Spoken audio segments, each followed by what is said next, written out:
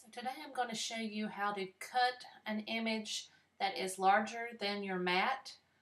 Um, I'm going to use a large Mario. I just recently made a four foot Mario for my son.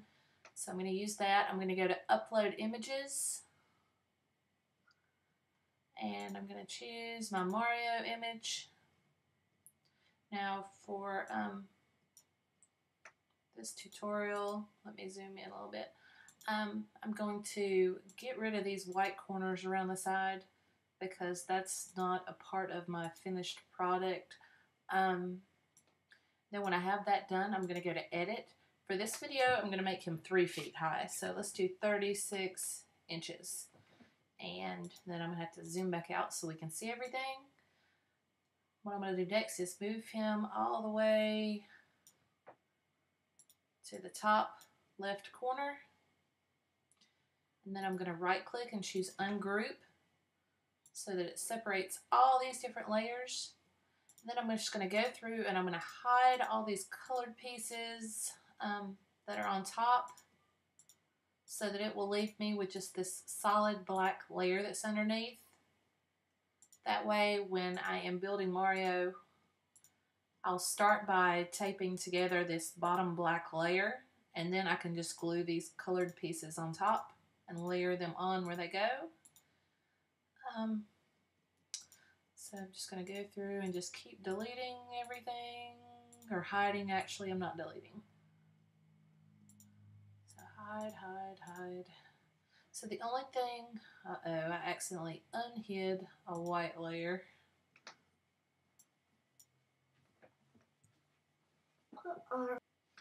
Okay, here's this white layer. So I've got everything hidden except for the solid black Mario. So now I'm going to start slicing him. I'm going to insert a shape. I'm going to use a square.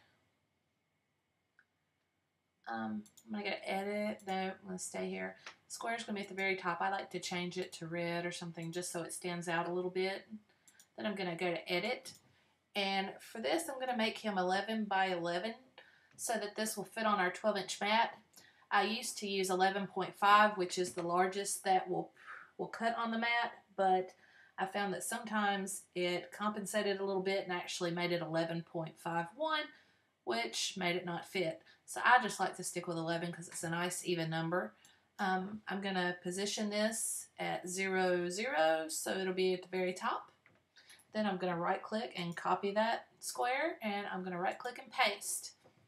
So for the second one, our Y position is still going to be at 0 because it's at the top. And our X is going to be at 11. So it'll put it right beside that other square. Then I'm going to right click and paste. Again, Y is 0 because we're still in that top row. X is going to be 11 plus 11, so it'll be 22. And everything's covered up. So I'm going to start on the second row. I'm going to paste. This time on our second row, our Y will be 11 and our first x will be 0. Paste. This time, of course, our y is still going to be 11. And our x is going to move over to 11. Paste. y is once again 11. This time our x is going to be 22. Um, I see a little piece of hand right here, so I'm going to go ahead and do one more to make sure we get that little piece. Um, y is going to be 11, x is going to be, I think, 33. Yeah. And now we're going to move to our next row. So the next row, we just did y11, so now we're going to do y22. We're going to start x at 0. Right click paste. This whole row, y will be 22. On this one, x will be 11 paste. Y is again 22. X is now 22. And I see one little piece right here again, so I'm going to do another one. Y is going to be 22. X is going to be, I lost count, 44. Nope, too much. 33. So that'll cover that one. And then I have one more down here. Let's see if I can figure out where to put this block to cover that. Um, I think Y is going to be, nope, 44 is not it, 33. And then we need to move over. So let's say, what's 22? Too much. And we know 11 won't cover the whole thing because it'll be right there. So let's try 15. Yep, that covered it up. So now we have all of our blocks. I'm going to go into my layers, go down to my Black Mario layer, and I'm going to arrange and move him to the front. That makes it easier to see everything. So now he'll be up top with our squares. So I'm going to hold down the shift key. I'm going to select Mario and select one square. And I'm going to slice. With Mario on top, you could easily see what you just sliced. So I'm going to move the red over and delete it. All this red will be extra, so I'll move another red, delete it, and it leaves us with the bottom of his foot. I move over here to the side. So again, I'm going to hold down shift and choose my slice image B again, another square, and slice. And it looks like this is this. So I'm going to take away the red, hit delete, take away this little piece of red, hit delete, and we'll have this little bitty piece on here to tape on. That'll be fun to tape on our finished project. Um, I'm going to hold down shift and choose slice image B again. That's always what we're going to be selecting, slice image B. I'm going to choose another square while holding down shift and slice.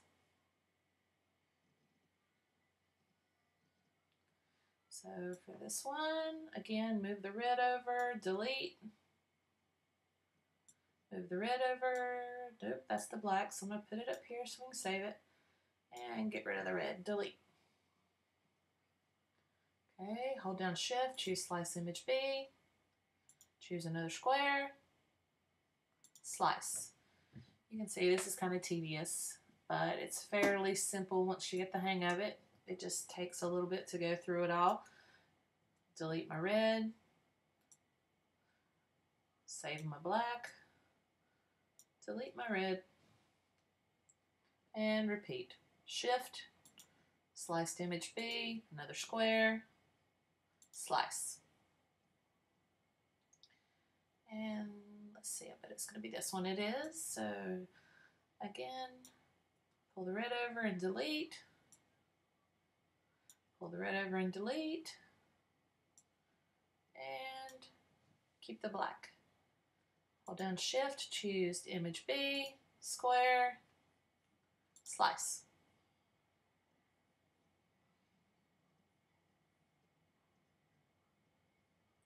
It's this one right here. So I move the red, delete. Move that teeny tiny piece of red, delete. In real life, I would have probably changed my Mario to maybe 33 inches instead of 36, and it would have taken care of these teeny tiny pieces on the end so we wouldn't have had to deal with it. But for the purpose of this video, we'll leave him as is. Um, hold down shift, do image B once again, another square, slice,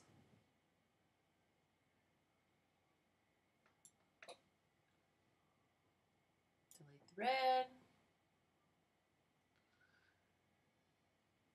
Mine's lagging a little bit. It's getting a little overwhelmed. You'll find that with a lot of layers it might do this. Keep the black and delete the red. Hold down shift, do slice image B, another square, slice,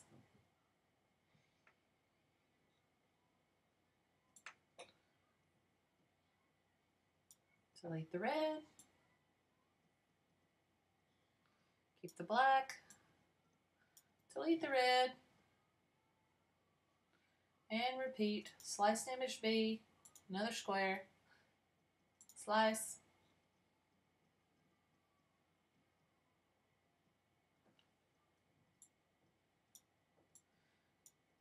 delete the red, keep the black, delete the red,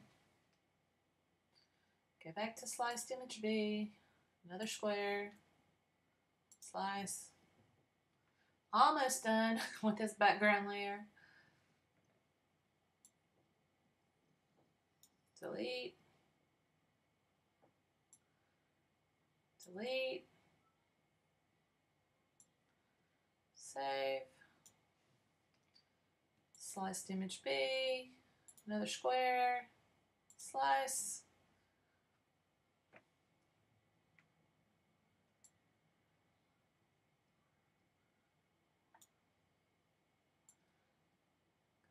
Delete, save, delete, and our last one, image B again, our last square, hit slice,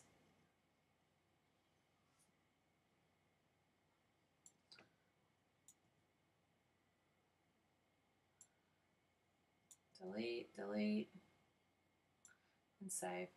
So now we have our giant puzzle. When we cut it, of course, it's just piecing it back together.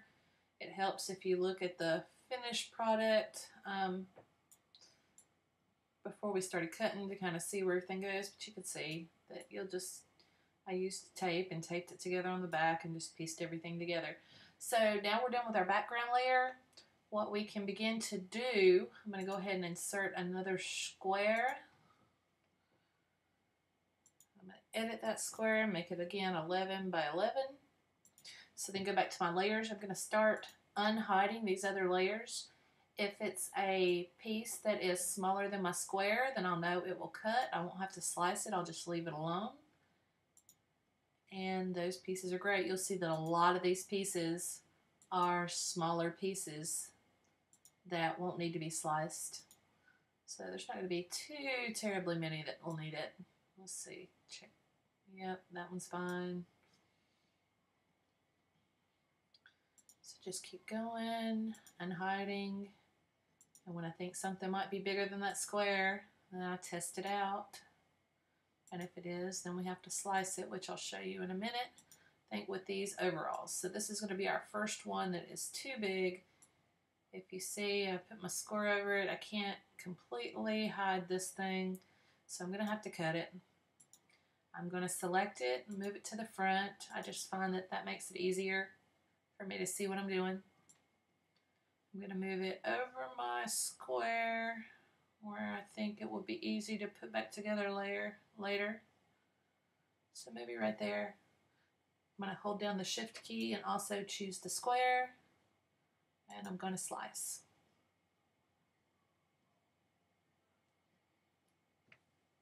Then once again, we get rid of these unneeded layers. So in this case, it's going to be the gray. There's a piece of that that we're going to need to keep. We're going to get rid of that. Now this kept these two pieces together.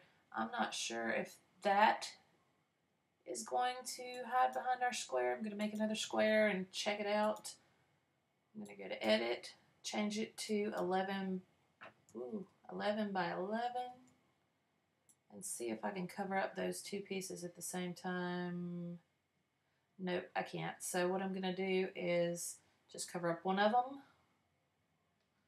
Actually, I'm going to click that, hold down shift, choose my square, and go to layers and slice. And that's going to cut those two apart so that we can use them so that's going to give us one piece, two pieces to keep. We'll put those back together later, and we're going to delete the gray parts that we're not going to need. So this is what you're going to do, um, continue to do for all your pieces.